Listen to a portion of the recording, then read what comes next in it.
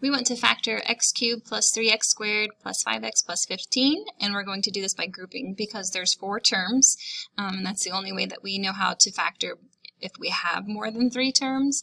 And um, we could always look for a GCF, right? If we do, we should always look for a GCF no matter what. But um, they don't have any numbers in common. There's no x on 15, so there's no greatest common factor. So we're going to try to factor by grouping, which means that we pair um, two terms together and usually you just start with the first two and the second two, or you kind of look them over and see, okay, which two do I think have something in common, which other two, and you know, if you notice 5 and 15, they both have 5 in common. These two have a lot more x's in common, um, so we're going to try that. So I'm going to factor, or I'm going to group first. We're not factoring yet. Um, x cubed plus 3x squared and they're still adding. We always want to put a plus sign in between and take the sign inside. So if there's any negatives, just put a plus sign in between the parentheses and take any negatives into the parentheses, but there aren't any here. Um, so plus 5x plus 15.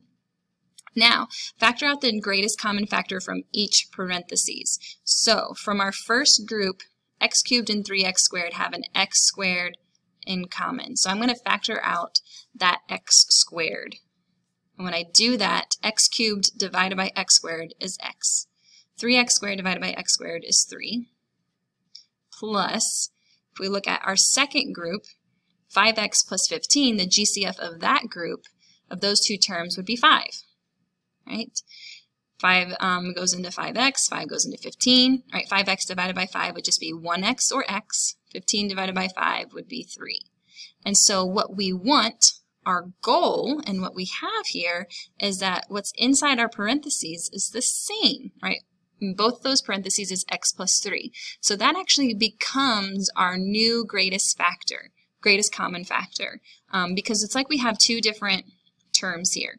We have this first term, because all of this is multiplying together. x squared is multiplying with the quantity x plus 3. Our second term, 5, is multiplying with the quantity x plus 3.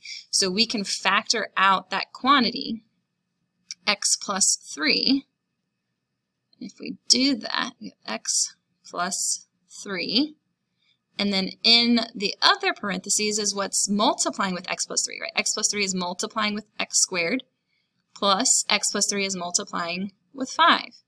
And that is our answer. Right, x plus 3, the quantity x plus 3, times the quantity x squared plus 5 are the factors of that long polynomial that we were given.